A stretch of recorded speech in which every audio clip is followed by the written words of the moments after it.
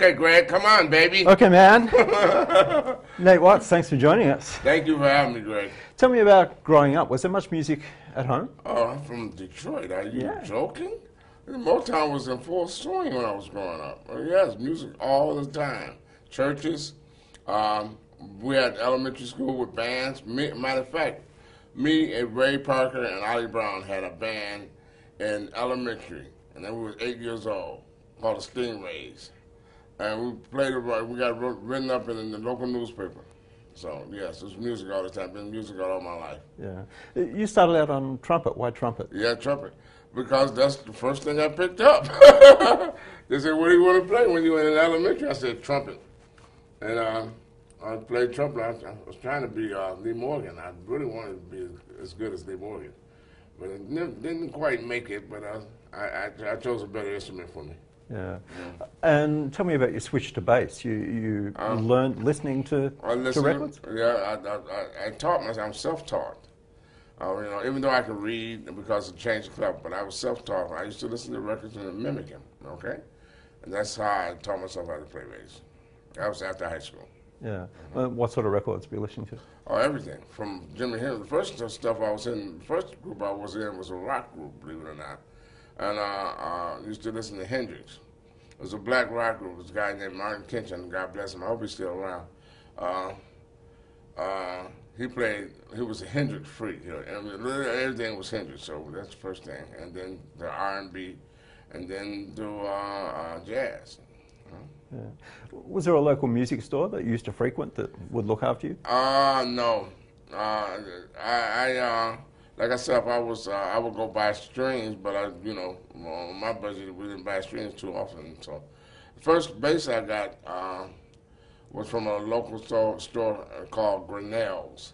Grinnell's was a music store. It went out of business a long time ago, but uh, it was a music store downtown Detroit.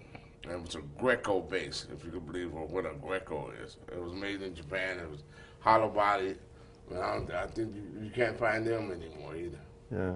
I, I believe you used to sit in on sessions with the, the Funk Brothers and Uh, well, I, I, I just said I used to watch them Yeah. when I was a kid. That's when I was eight. I was still playing trumpet then, and I used to look through them. We used to walk all the way. It was in my neighborhood. We could, was about a mile away, maybe a mile and a half, and we used to look through the windows to watch them play.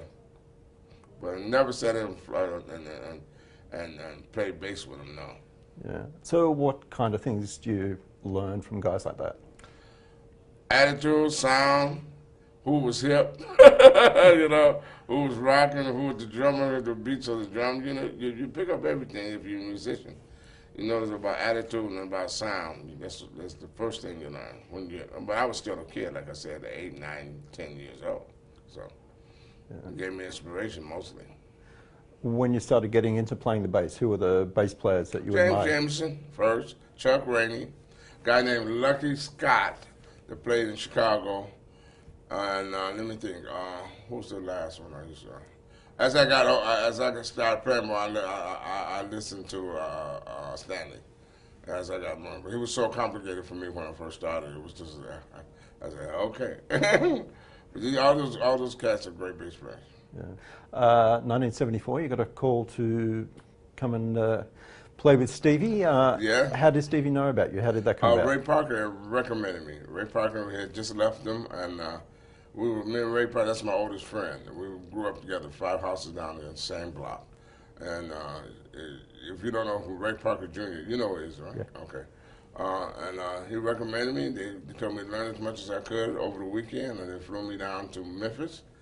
I went there, and I uh, was surprised when I knew I was made to love her, because I had got a 45 from my cousin, gave it to me, and that's one of the first complicated songs I ever tried to learn. Was that, and um, I had I learned a little bit, a little bit of that, and then I played uh, the show, and then he flew me back to L.A. and I auditioned with other uh, bass players, and I got the gig. What was the first recording, first song you did with Stevie? Ooh, the first release song. We did a bunch of them that wasn't released, but the first one was, um, I think Sir Duke was the first one. I wish was the first single, but I think Sir Duke was the first one we did with the band. I think that came first. And um, then the first number one, I Wish came out number one. And so that's the Salsa Kid Life was my first album. That was in 76. But we did most of the stuff in 75. We did some songs and didn't make the album. Uh, St- Stevie is known for doing uh, bass parts Oh, yeah. on the keys. Oh, H- how do you and he work out? He's the, The boss, okay? He's Yeah. I get like maybe one third, one fourth of all the songs. He does, but he's gonna put his stuff on it. He was doing it before I was, okay? You know what I mean? So, what's uh, what the song? He said, Nate, I want you to play on this. Or Nate, then then you, you, this will be good for you. Or, or he does it by himself. Yeah. Uh, the uh, intro to I Wish is a classic bass line. Uh-huh. Tell me about uh, how that part came about. Well, he called me up. I went home and called me up about um um uh, about. I just I went home and he called me back up about uh, one o'clock in the morning. Said Nate, I want you to come down here, and he, and he had the piano. He said follow piano, all right? And I did. And he said now do some slides. Do do do, do you? And I did all that. And then I think he came back and put some uh, a synthesizer under it to fatten the bass sound up. That's what I know. I, I think he did, but uh, you really can't tell. Do you remember what bass and amp you were using? Oh, I was using, uh, I was direct. Actually, I was direct, and I was using my um, um, uh, jazz. I had a jazz. I had a '79 jazz or something like that. Yeah. Working on the album Songs in the Key of Life, Mm-hmm. did you have a sense of how great that album was at the time? Well, the whole thing uh, at the time, I couldn't believe it because you know I had been around it and I'm fresh and I'm new, and I said, "This guy's really a genius." Okay, that's the first thing I said, and and uh, and the, I had I had been on a, a record before that, and um, I um, it was a local record called the final uh, called "Keep On Walking" by the Final Decisions, and that was the first record I ever played on. This was the second one, and and so. Um, it was just amazing. All the different songs, all all the different patterns. I said, God, you know, it just opened my head up to music like crazy by being around it. It was like a school of wonder. That's what I call it. Okay. Uh, what about some of the other sessions you've done with other people? What are your, your favourites? Uh, one of them is uh, one of them is uh, uh, Let's Get Serious. The other one's Heartbreak Hotel on Jackson's. The other one's Say Say Say with uh, uh, Paul McCartney. And new thing, uh, He's So Shy by the Pointer Sisters. I'm so excited. Uh, I got a bunch of them that I, I, I had fun with. All of them were top top on the number one hits too. Which was a good thing. Yeah. I got, let me see what what's the other one. Mm, one of my favorite was with Michael on, on, on uh, Heartbreak Hotel. That was incredible because she said, "Hey Nate, I want you to, you know, I want you to do this, do this, do your slide thing." yeah, okay, it was great, man.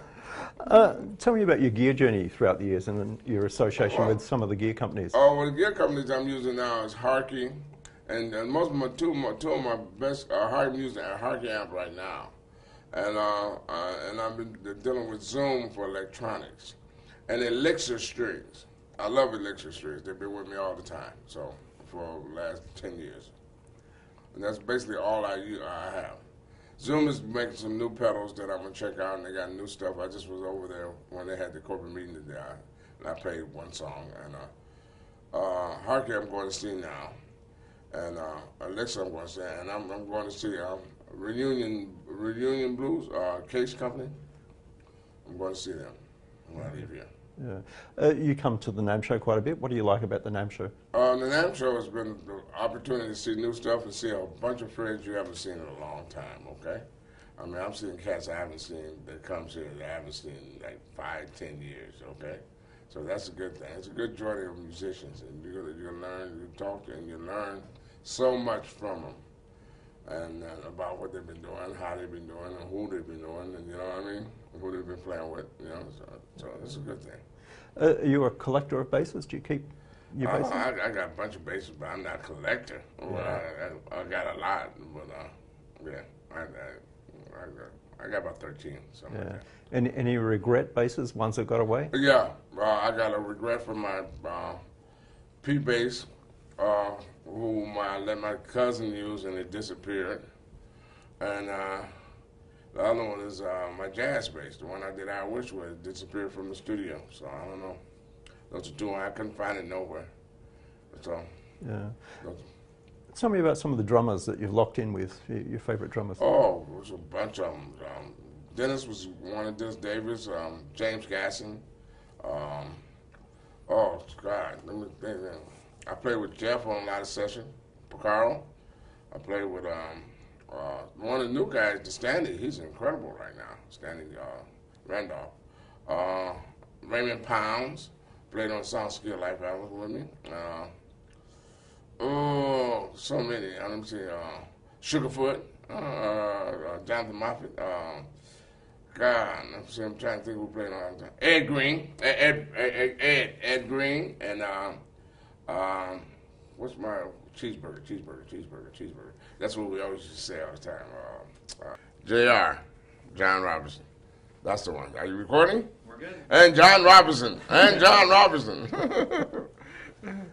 okay. When you look back at your career with Stevie Wonder, what are some of the great memories that come to mind? Oh man, one of the funniest things in the world was uh, when I first joined. I must have been about it was about 1975. We're doing Human Kindness Day, okay, and uh, it was like maybe 250,000 people there, something like that, right? Was from the Washington Monument, okay. So we're getting ready to go, and, we get out get out of the cab. He's Steve gonna he's I said Steve get out the other side.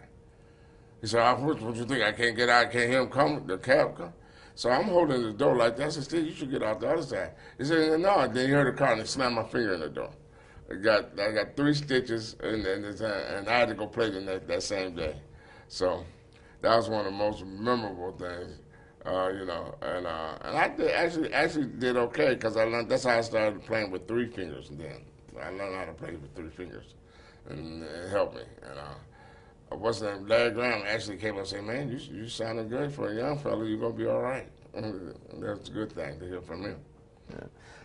And I believe uh, you're bringing out your debut album of your own. Yes, I'm doing an album of my own. I got everybody on it that- that's my friends. I mean, all the bass players. I got, I got Victor Wooten. I got Marcus Miller. I got Al Turner. I got Ralph Armstrong. I got uh, what's more? Uh, it's just so many. It's ridiculous. It's on one song, and then I got help from Steve and everybody else. Yeah. It, Um, all the songs written by you. Or did you have to? yes, most of them. Some of them written by some co-wrote. Most all of them co-wrote by me, and one some by myself. Yes. Uh, what else is happening this year? Uh, we don't know yet. I'm trying to get him to come and see you guys. You know what I mean? I'm trying to get him to do a Southeast Southeast Asia uh, gig, uh, you know, tour. But he, we just came off a long tour. All, like, we was working all last year, so he's sitting down with his kids right now. So that's a good thing. What are you most proud of? That I lasted as long as I did. Okay, and that that's one thing I'm proud of. And I'm proud of the accomplishments I did, the stuff I played. I mean, how many people could say they played with Paul McCartney? Okay, I'm playing on one of his songs. Okay, uh, and, and, and and I'm still here. I'm still going. That's one of the great things. And and and recognition is uh, is amazing. And all the all old say, "Hey, Unc, hey, Unc."